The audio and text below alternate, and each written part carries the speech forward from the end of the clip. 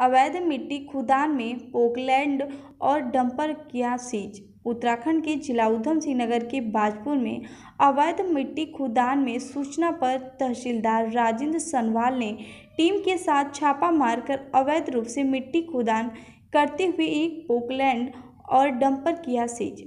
बता दें कि तहसीलदार राजेंद्र सनवाल ने टीम के छापेमारी कर अवैध मिट्टी खनन करते एक पोकलैंड और एक डंपर पकड़कर सीज कर दिया।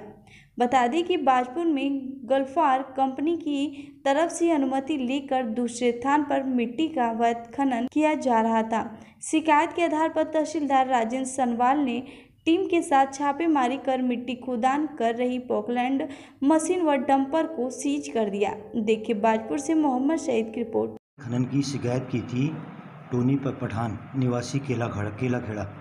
तो मौके पर हम लोग गए, वहाँ पर जिस जगह पे उसको स्वीकृति हुई थी, जब लैंड निकालने की, खुदान की परमिशन दी गई थी, वहाँ पर न करके दूसरी जगह पर अवैध खनन कर रहा था। मौके पर हमें पोकलैंड मशीन और डंपर मिला, जिसे हमने मौके में सीज किया। सीज करने के बाद केला खेड़ा केला खेड़ा, थाने अध्यक्ष को हमने हैंडओवर किया।